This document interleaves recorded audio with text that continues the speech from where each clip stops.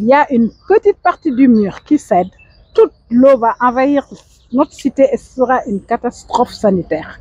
Nous vivons dans les eaux d'égout depuis dix jours et c'est inadmissible. C'est inadmissible et il faut situer les responsabilités et que les responsabilités soient assumées. L'ONAS doit quand même régler notre problème. C'est là des problèmes que nous n'avons pas créés, des problèmes qui nous ont été créés par d'autres. Nous ne sommes pas obligés de recevoir la, excusez-moi, la merde des autres quand même. Parce que nous vivons dedans. Il faut sauver la cité Bellevue.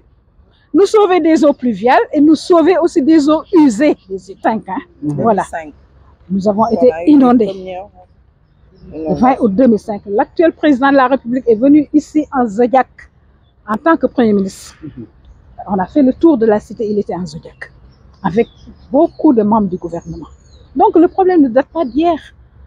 Le président Ablaïwad nous a fait ce mur-là, le mur dont je vous ai parlé et qui menace de tomber, parce qu'il y a des interstices et l'eau des égouts passe par les interstices pour envahir notre cité. Donc il y a quelque chose à faire et c'est urgent.